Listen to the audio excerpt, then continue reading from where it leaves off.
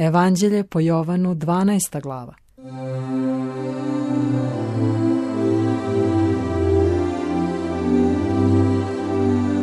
Pomazanje u Vitaniji. Mesija ulazi u Jerusalim.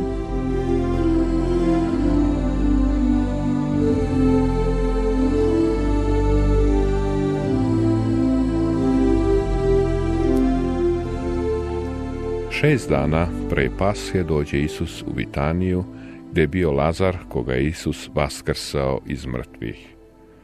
Onda mu prirediše večeru i Marta je služila, a Lazar je bio jedan od onih koji su s njim ležali za trpezom.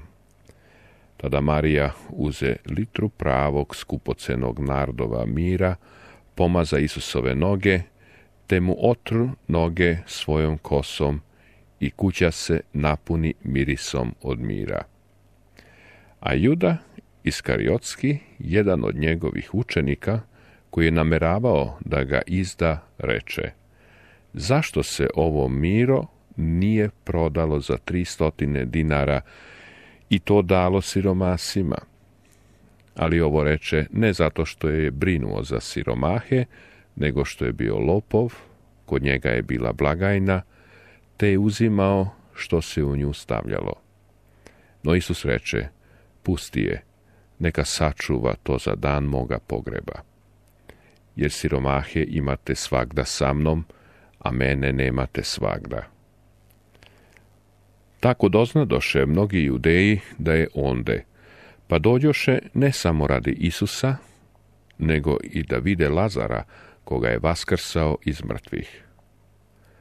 Prvosveštenici pak odlučiše da ubiju i Lazara, jer su mnogi judeji odlazili zbog njega i verovali u Isusa.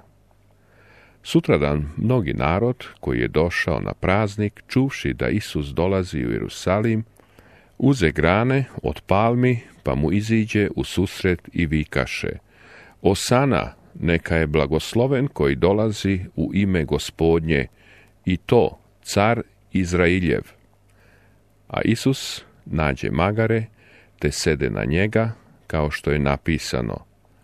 Ne boj se kćeri Siona, evo, ide tvoj car, sedeći na magaretu.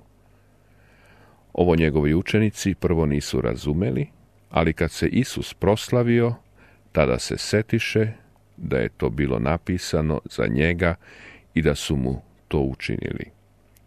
A narod koji je bio uz njega svedočio je da je on pozvao Lazara iz groba i vaskrsao iz mrtvih. Zbog toga mu je narod izašao u susret, jer su čuli da je on učinio to čudo. Fariseji pak rekoše među sobom, vidite da ništa ne možete. Eto, svet ode za njim.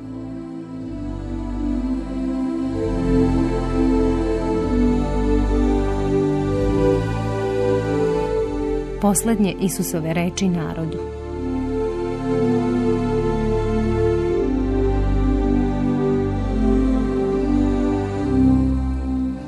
A među onima što su išli gore, da se pomole Bogu o prazniku, behu i neki Grci. Ovi priđoše Filipu, koji je bio iz Vitsajde, Galilejske, te ga moljahu govoreći, Gospodine, želimo da vidimo Isusa. Filip ode i reče Andreji. Zatim Andreja i Filip odoše i rekoše Isusu. A Isus im odgovori. Došao je čas da se proslavi sin čoveči. Zaista, zaista kažem vam, ako pšenično zrno ne padne u zemlju i ne umre, ostaje samo, a ako umre, donosi mnogo roda.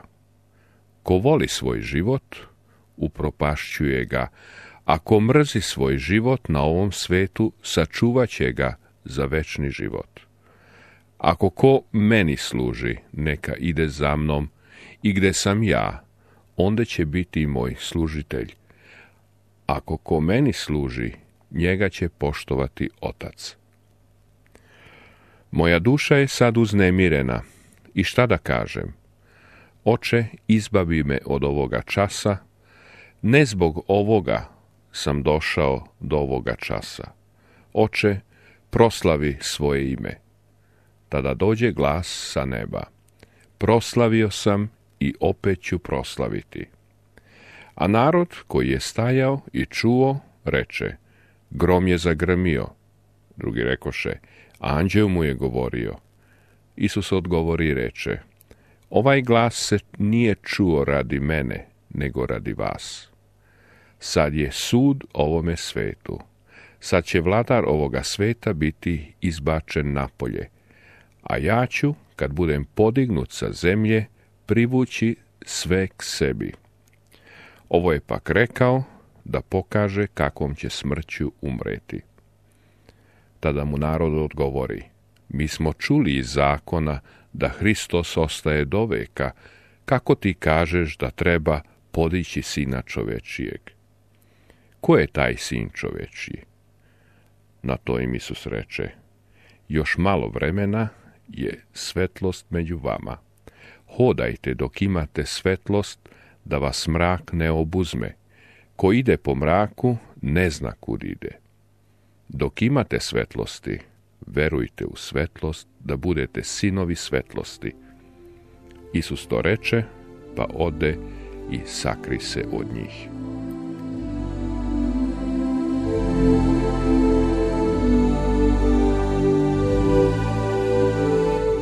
Jevreji ne veruju u Isusa.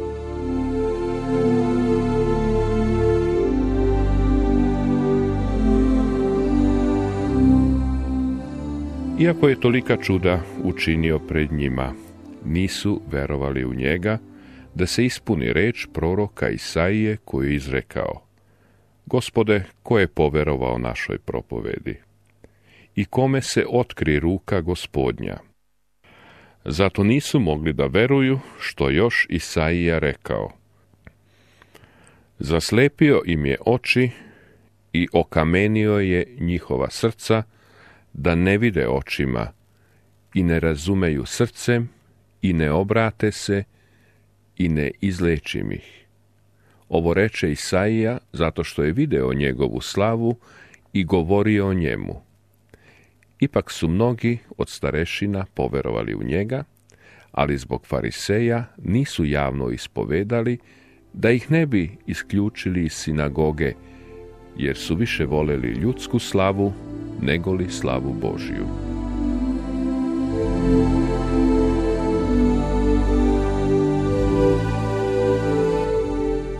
Podsticaj na veru.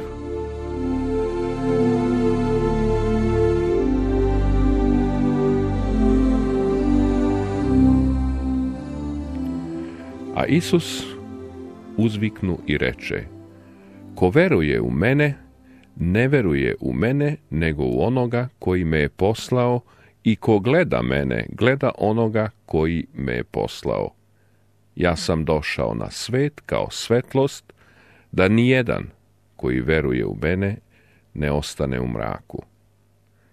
I ako ko čuje moje reči i ne sačuva ih, neću mu ja suditi, jer nisam došao da sudim svetu, nego da spasem svet. Ko mene odbacuje i ne prima mojih reči, ima svoga sudiju. Reč koju sam izgovorio, ona će mu suditi u posljednji dan. Jer ja nisam govorio sam od sebe, nego otac koji me je poslao, on mi je dao nalog šta da kažem i šta da govorim i znam da je njegova zapovest život večni. Što dakle ja govorim? Govorim onako kako mi je govorio otac.